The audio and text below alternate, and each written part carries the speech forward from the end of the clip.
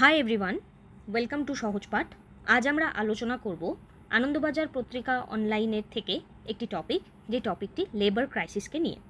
Labour crisis শ্রমের সংকট। তো শ্রমের সংকটকে নিয়ে এখানে লেখক কি বলার চেষ্টা করছেন, সেটি আমরা একটু দেখে নেওয়ার চেষ্টা করি।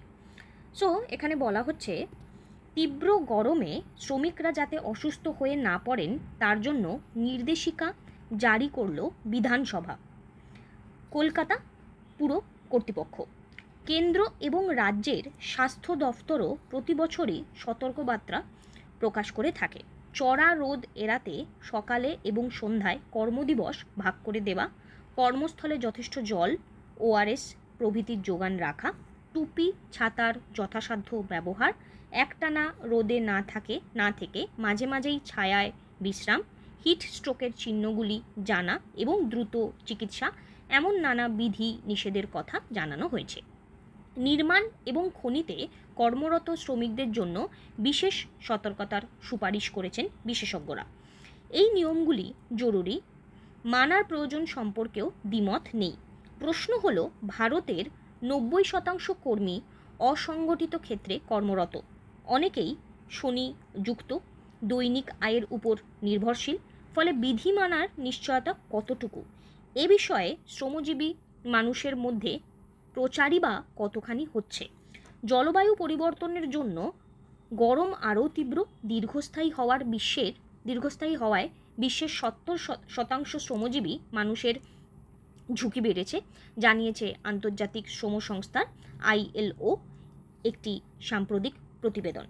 একদিকে তাপমাত্রার বৃদ্ধি অতীতের সব নজির ভাঙছে এবছরে জানুয়ারি মাসটি ছিল ইতিহাসের উষ্ণতম। অন্যদিকে, কেবল শ্রমের উপর নির্ভরশীল মানুষের সংখ্যা বেড়েছে, ফলে তাপ আক্রান্ত শ্রমিকদের, শ্রমিকের সংখ্যা বাড়ছে। মানবদেহের অভ্যন্তরের স্বাভাবিক তাপমাত্রা বেড়ে গেলে গুরুতর অসুস্থতা, এমনকি মৃত্যু অবধি ঘটতে পারে, হতে পারে। সো এখানে কী বলার চেষ্টা করছে আমরা দেখি। তো আমরা সবাই জানি এখন কেমন গরম চারিদিকে এবং এই গরমের কারণস্বরূপ আমরা অবশ্যই জানি যে আমাদের যে পরিবেশের নিষেধাজ্ঞা, বিভিন্ন যে শর্তাবলী মানা উচিত প্রত্যেকটি নাগরিকের, তা হয়তো আমরা সেভাবে মানি না এবং এই যে নিয়মাবলীগুলো আমাদের প্রতিনিয়ত জীবনের সাথে অতপ্রতভাবে এমনভাবেই জড়িয়ে গিয়েছে যে আমরা স্বাভাবিক সীমাবদ্ধতার মাঝে আর আটকে নেই। এই যে গরম, এই গরমে যাতে অসুস্থ শ্রমিকরা না হয়ে পড়েন, তার জন্য বিভিন্ন কর্তৃপক্ষ থেকে এখানে নিয়মাবলী, এখানে নির্দেশিকা জারি করা হয়েছে। সরকারের তরফ থেকেও কোনো পিছপা হয়নি। তারাও এখানে বিভিন্ন নির্দেশিকা জারি করেছেন এবং কর্মদিবসের রেসপেক্টে তাদের বিভিন্ন এখানে আলাদা আলাদা নিয়মাবলী প্রচার করেছেন, বিধি নিষেধ রেখেছেন। বাট প্রশ্ন হচ্ছে, এই যে নিয়মগুলো জরুরি, তা আমি, আপনি সবাই জানি। কিন্তু তাতে কোনো রকম কোনো সমস্যা নেই।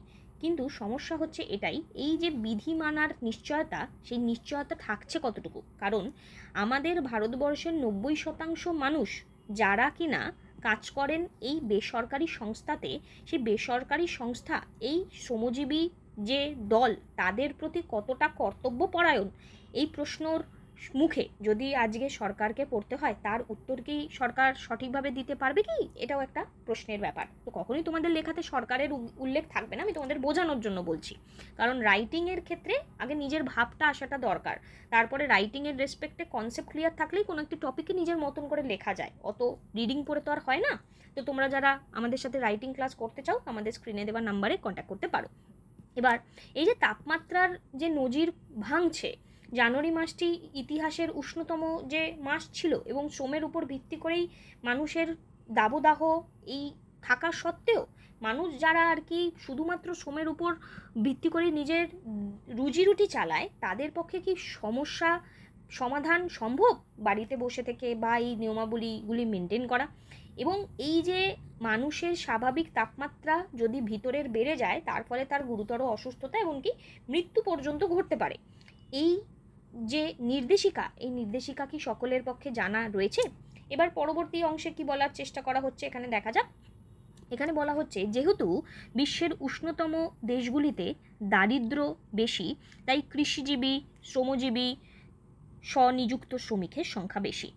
তাপ থেকে রক্ষার বিধি তাদের কাছে পৌঁছানো যত কঠিন, তাদের পক্ষে সেগুলি মানাও তেমনই দুঃসাধ্য। কেন বলা হচ্ছে? কারণ আজকে বলা হলো একজনকে যে বারোটা থেকে চারটে পর্যন্ত রাস্তায় বেরোবেন না।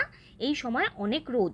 বাট এই যে সময় অনেক রোদ, এনারা যদি রাস্তায় না বেরোন, তাহলে তাদের রুজি রুটি কীভাবে চলবে? এইটা প্রথমত তাদের কাছে পৌঁছানোটা, এই অ্যাওয়ারনেস যে প্ল্যানটা সেই প্ল্যানটা যতটা কঠিন, সেগুলো মানাটাও তাদের কাছে অনেকটাই এখানে কষ্টকর ব্যাপার। আইএলওর প্রতিবেদন অনুসারে ভারত, পশ্চিম এশিয়া এবং আফ্রিকায় কৃষিজীবীদের মধ্যে দীর্ঘমেয়াদী কিডনির অসুখ দ্রুত বেড়েছে, যার কোনো আপাদ কারণ মিলছে না। সংস্থার আন্দাজ, কর্মস্থলে অতিরিক্ত গরমের জন্য কিডনিজনিত অসুখে আক্রান্ত আড়াই কোটিরও বেশি মানুষ। ভারতে নির্মাণ শ্রমিকদের এক আলোচনায় জানা গিয়েছে মহিলা শ্রমিকরা বিশেষভাবে আক্রান্ত, কারণ কর্মক্ষেত্রে শৌচালয় না থাকায় তারা জল কম খেতে অভ্যস্ত। কাজের সময় পরিবর্তন করে সকালে এবং সন্ধ্যায় কর্মদিবস বিভাজন করায় মহিলাদেরই সংকট বেশি, কারণ তারা ভোরে ও সন্ধ্যায় বাড়ির কাজ করেন। আন্তর্জাতিক জার্নালে প্রকাশিত একটি সমীক্ষা দেখিয়েছিল যে কম জল খাওয়া এবং অত্যন্ত গরমে বাইরে কাজ করা তামিলনাড়ুর গর্ভবতী মেয়েদের গর্ভ নষ্ট হওয়া এবং কম ওজনের সন্তান প্রসবের ঝুঁকি প্রায় দ্বিগুণ করে দিয়েছে। তাহলে দেখো, ব্যাপারটা হচ্ছে দেখা যাচ্ছে যে এশিয়া, পশ্চিম এশিয়া, ভারত এবং আফ্রিকার বেশ কিছু দেশের মানুষের কিডনির অসুখ দ্রুত বেড়ে চলেছে, যার কোনো কারণ এখানে পাওয়া যাচ্ছে না। আড়াই কোটিরও বেশি মানুষ এখানে কিডনিজনিত অসুখে এখানে অসুস্থ। এখানে জানা গিয়েছে মহিলা শ্রমিকরা বিশেষভাবে আক্রান্ত, কর্মক্ষেত্রে শৌচালয় না থাকায় তাদের এখানে এই রকম যে সমস্যা, সেই সমস্যার সম্মুখীন তারা হচ্ছেন। আন্তর্জাতিক জার্নালেও একটি সমীক্ষাতে এই রকম কারণের কারণবশত আমরা জল কম খাওয়া এবং গরমে বাইরে কাজ করতে যাবার ফলস্বরূপ মেয়েদের শারীরিক আরও অসুস্থতা এখানে লক্ষ্য করা যাচ্ছে। অতিরিক্ত উষ্ণতার জন্য শ্রমজীবী, কৃষিজীবী মানুষের কাজের সময় কমছে, ফলে রোজগার কমছে, অথচ স্বাস্থ্যের ঝুঁকি বাড়ছে। এই পরিস্থিতির মোকাবিলা কেবল স্বাস্থ্যবিধি জারি করে হবে না। শ্রমিক, ঠিকাদার ও সরকারি বেসরকারি নিয়োগকারীদের কাজে নজরদারি নিয়ন্ত্রণ প্রয়োজন। আক্ষেপ, চারটি নয়া শ্রম কোড শ্রমিকদের স্বাস্থ্য সুরক্ষা বিধিকে আগের তুলনায় অনেক শিথিল করেছে। শ্রমিকের জীবনের ঝুঁকি, শ্রমের উৎপাদনশীলতা হ্রাস এই দুই সংকটই কি এখন মনোযোগ দাবি করে না? মানে বলছে যে, আজকে আমি একটা নিয়মাবলী চালু করে দিলাম এখানে সেই নিয়মাবলী চালু করে দেওয়ার মানে কিন্তু এটা নয় যে সেইটা সেই পার্টিকুলার অর্গানাইজেশন মেনে চলবে। এই পরিস্থিতির মোকাবিলা করার জন্য শুধু স্বাস্থ্যবিধি আমি জারি করে দিলাম এবং চুপচাপ বসে রইলাম, তাহলে কোনো সলিউশন নেই। শ্রমিক, ঠিকাদার, সরকারি, বেসরকারি নিয়োগকারীদের কাছে নজরদারি এবং কন্টিনিউয়াস একটা অবজারভেশন প্রয়োজন। এবং এখানে এটাই বলা হচ্ছে যে নতুন আমি শ্রম, শ্রমের যে আর কি লেবার কোড চালু করে দিলাম এবং এই চালু করে দেওয়ার ফলস্বরূপ দেখা যাচ্ছে যে স্বাস্থ্য সুরক্ষা বিধিকে আগের তুলনায় অনেক শিথিল করেছে। এবং এই শিথিলতা যে এসেছে, তাতে জীবনের, শ্রমিকের জীবনের যে ঝুঁকি বেড়ে গিয়েছে এবং শ্রমিকের জীবনের ঝুঁকির সাথে সাথে তার উৎপাদনশীলতা, তার প্রোডাক্টিভিটি এখানে কমে গিয়েছে, এই ব্যাপারে কি আমাদের মনোযোগ দেওয়া উচিত নয়?